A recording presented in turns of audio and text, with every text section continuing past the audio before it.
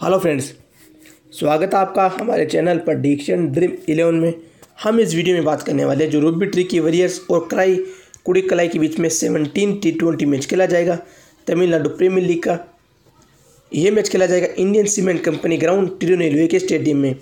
इस ग्राउंड की जो पिच रहती है, वो बैटिंग फ्रेंडली पिच रहती है। इस ग्राउंड का जो फ़र्स्ट इनिंग का एवरेज स्कोर रहता है वो रहता है वन सिक्सटी एट का और सेकेंड इनिंग का रहता है वन सिक्सटी टू का। तो आपको इस मैच में वन सेवेंटी प्लस स्कोर देखने को मिल सकता है। हम आगे बात करने वाले लास्ट मैच के रिज़ल्ट की। तो रूबी ट्री की वरियर्स का जो लास्ट मैच हुआ था टीम आठ विकेट से हार गई थी। हम आगे बात करने वाले रूबी ट्री की वरियर्स की प्लेइंग इलेवन की और साथ ही में लास्ट मैच के प्लेयर्स के परफॉर्मेंस के बारे में। भरत शंकर ने ठीक ठाक बैटिंग की थी चौसठ रन बनाए थे। बाबा इंद्रजीत, जो टीम के कैप्टन है, कुछ खास नहीं कर पाए, तीन रन बना के आउट हो गए थे।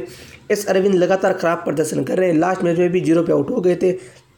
गणपति भी कुछ खास नहीं कर पाए, एक रन बना के आउट हो गए थे और बॉलिंग से इनको कोई भी विकेट नहीं मिला। एस एस कुमार ने बहुत अच्छी बैटिंग की थी। पैंतीस रन बनाए थे। मनी भारती, जो टीम के विकेट कीपर है, दस रन बनाए थे। सोनू यादव ने ठीक बैटिंग की थी। इक्कीस रन बनाए थे बॉलिंग से इनको कोई भी विकेट नहीं मिला। एम एस संजय ने बनाए थे, तीन रन, इनको भी कोई विकेट नहीं मिला। लक्ष्मी नारायण लक्ष्मी नारायण ने बनाए थे ग्यारह रन इनको भी कोई विकेट नहीं मिला। खन्ना विघ्नेश ज़ीरो रन बना के आउट हो गए थे, इनको भी कोई विकेट नहीं मिला। और कुमार ने बहुत अच्छी बॉलिंग की थी, सात रन बनाए थे और दो विकेट भी लिए थे। तो ये प्लेइंग इलेवन रहती लास्ट मैच में बाकी जो खिलाड़ी बेंच बैठे हैं, सत्यामूर्ति और विग्नेश ये दो खिलाड़ी बेंच पर बैठे हम आगे बात करने वाले हैं।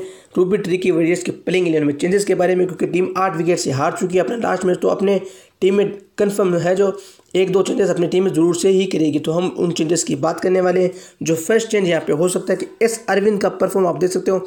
लास्ट मैच लास्ट मैच में भी ये ज़ीरो पे आउट हो गए थे और लगातार खराब प्रदर्शन कर रहे हैं। तो इनकी जगह मुझे लगता है सत्यमूर्ति सरावरन को टीम में कन्फर्म मौका दिया जाएगा। तो ये एक चेंज हो सकता है। सेकेंड चेंज की बात करूँ तो आप यहाँ पे देख सकते हो, लक्ष्मी नारायण का प्रदर्शन भी इतना अच्छा नहीं रहा। पिछले कुछ मैचों से तो इनकी जगह इल विग्नेस को टीम में मौका दिया जा सकता है। तो ये दो चेंज रूपी ट्रिक की वजह से अपने प्लेइंग इलेवन में कर सकता है। बाकी आपके लिए सारे जो है एकदम सेफ़ प्लेयर रहने वाले हैं। बाकी अगर आप स्मॉल लीग या हेड टू हेड के लिए खेलते हो और आप अपनी टीम में सेफ़ प्लेयर को पिक करना चाहते हो तो आप उन्हीं प्लेयर्स को अपनी टीम में पिक करना। जिस प्लेयर ने लास्ट मैच में सबसे अच्छा परफॉर्म किया हो जिससे आपका कोई भी प्लेयर मिस नहीं होगा। बाकी सिर्फ़ आप अपने टीम में एस अरविंद और लक्ष्मी नारायण को पिक नहीं करना। बाकी आपके लिए एकदम सारे सेफ़ प्लेयर रहने वाले। नाइन्टी परसेंट अगर लास्ट टाइम में कोई प्लेयर इंजर्ड नहीं होता है तो बाकी अगर आप ग्रैंड लीग में रिस्क लेना चाहते हो तो आप सत्यमूर्ति और विग्नेश के साथ आप रिस्क ले सकते हो। ये दोनों प्लेयर जो है आपकी ग्रैंड लीग में डिफरेंशियल पिक साबित हो सकते हैं। हम आगे बात करने वाले हैं लास्ट मैच के रिज़ल्ट के बारे में। तो क्राई कुड़ी क्लाई ने अपना जो लास्ट मैच है, बहुत ही अच्छे तरीके से सैंतालीस रनों से विन कर लिया था। हम आगे बात करने वाले हैं कराई कुड़ी कलाई की प्लेइंग इलेवन की और साथ ही में लास्ट मैच के प्लेयर्स के परफॉर्मेंस के बारे में। आदित्य ने बनाए थे दस रन। अनिरुद्ध, जो टीम के कैप्टन है, छप्पन रन बनाए थे। मान बाफना, जो बहुत ही अच्छे ऑलराउंडर ने इकतीस रन बने थे और एक विकेट भी लिया था। सूर्य प्रकाश ने बनाए थे सात रन। श्रीनिवास ने बनाए थे उन्नीस रन। शाहजहाँ ने बनाए थे तैंतालीस रन। बॉलिंग से इनको कोई भी विकेट नहीं मिला। राजकुमार ने बनाए थे आठ रन। एक विकेट भी लिया था। आर केविन, जो टीम के विकेट कीपर इनकी बैटिंग नहीं आ पाई। यो महेश को मिला था एक विकेट लक्ष्मण ने लिया था एक विकेट और मोहन प्रशांत को मिला था एक विकेट तो ये प्लेइंग इलेवन थी लास्ट मैच में और आप यहाँ पे देख सकते हो, सारे प्लेयर ने जो अच्छा परफॉर्म किया। तो मुझे नहीं लगता अपने प्लेइंग इलेवन में नाइन्टी परसेंट कोई भी चेंजेस करने वाली है कराई कुड़ी, कलाई की टीम बाकी अगर आप डाउटफुल प्लेयर की मैं बात करूँ तो सूर्य प्रकाश इस मैच के लिए आपके लिए डाउटफुल हो सकता है, क्योंकि इनका प्रदर्शन लगातार इतना अच्छा नहीं जा रहा है। तो इनकी जगह राधा कृष्णा को टीम में मौका दिया जा सकता है। तो ये सिर्फ़ एक ही चेंज क्राई कुड़ी कलाई अपने प्लेइंग इलेवन में कर सकता है। बाकी सारे प्लेयर्स आपके लिए एकदम सेफ़ रहने वाले हैं। इंजरी की मैं बात करूँ तो लास्ट मैच में टीवी पे देख रहा था। तो अनिरुद्ध जो टीम के कैप्टन है, ये थोड़े इंजर्ड लग रहे थे मुझे तो हो सकता है इस मैच में इनको जो है रेस्ट दिया जाए। बहुत ही कम चांसेस है कि अनिरुद्ध बहुत ही अच्छे बैट्समैन है, लेकिन ये अनिरुद्ध आपके लिए इस मैच के लिए डाउटफुल हो सकती है। तो मैं एक चीज़ पहले आपको कंफर्म कर देता हूँ कि अनिरुद्ध जो है पिछले मैच में इंजर्ड थे, इसलिए इस मैच के लिए डाउटफुल हो सकते हैं, लेकिन अभी इनके बारे में कोई भी कन्फर्म न्यूज़ नहीं है। कोई भी कन्फर्म न्यूज़ आएगी तो मैं कमेंट सेक्शन बॉक्स में जो है आपको बता दूँगा, लेकिन हाई चांस में अनिरुद्ध आपको खेलते हुए नज़र आ जाएँगे। बाकी आपके लिए जो है सारे प्लेयर्स एकदम सेफ़ रहने वाले हैं। और कोई भी आएगी प्लेयर्स के बारे में या प्लेयर्स की इंजरी के बारे में तो आप एक बार मैच से पहले कमेंट सेक्शन बॉक्स ज़रूर से चेक कर लेना। हम आगे बात करने वाले कैप्टन वाइस कैप्टन चोज की। तो भरत शंकर, इंद्रजीत एस अरविंद, जो आपके लिए इस मैच के लिए है, जिसकी हो सकते हैं, एस एस कुमार, आदित्य, अनिरुद्ध और मान बाफना। ये सात प्लेयर आपके लिए बेस्ट रहने वाले स्मॉल लीग और हेड टू हेड की लीग के लिए कैप्टन वाइस कैप्टन चॉइस के लिए। अनिरुद्ध आपके लिए इसकी हो सकते हैं, लेकिन इन्हें बहुत ही कम लोग पिक करेंगे क्योंकि लगातार ये खराब प्रदर्शन कर रहे हैं, लेकिन अगर आप अपने टीम में पिक करते हो और ये अच्छा प्रदर्शन करते हैं तो आपको जो है अच्छा अमाउंट भी विन करा सकते हैं। वहीं बात करते हैं हम ग्रैंड लीग के कैप्टन वाइस कैप्टन चौधरी की तो सोनू यादव एम एस संजय कुमारन, गणपति सूर्य प्रकाश श्रीनिवासन शाहजहाँ और राजकुमार, ये आठ प्लेयर आपके लिए बेचने वाले हैं ग्रैंड लीग के कैप्टन वाइस कैप्टन चॉइस के लिए। बाकी अगर आप अपनी टीम के साथ जाना चाहते हो तो आप इनमें से किसी को कैप्टन और इनमें से किसी को वाइस कैप्टन या आप इनमें से किसी को वाइस कैप्टन और इनमें से किसी को आप अपने टीम में कैप्टन वाइस कैप्टन बना सकते हो, खुद से आप एक बेटर टीम बना के अच्छा विन कर सकते हो। और आपको फ्यूचर में हर मैच के ऐसे ही कंटिन्यू वीडियो चाहिए तो आपको सबसे पहले चैनल को सब्सक्राइब करना होगा। पास में जो बेल आइकन का बटन है, आपको उसे प्रेस करना होगा, तभी मेरे हर वीडियो का नोटिफिकेशन है, वो सबसे पहले आप तक पहुँच जाएगा। और आप वीडियो को आसानी से देख पाओगे। तो इसीलिए बोल रहा हूँ, चैनल को जल्दी से सब्सक्राइब करो। चैनल को सब्सक्राइब करना एकदम फ्री है। और इस वीडियो में आपको कुछ भी अच्छा लगा हो तो भाई वीडियो को भी एक लाइक कर देना।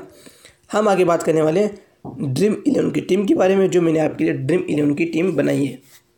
और इसके, इस मैच के बाद में जो मैच खेला जाएगा इंग्लिश टी ट्वेंटी ब्लास्ट का। इस मैच का वीडियो मैंने अपने चैनल पे अपलोड कर दिया है। आप चाहो तो देख सकते हो।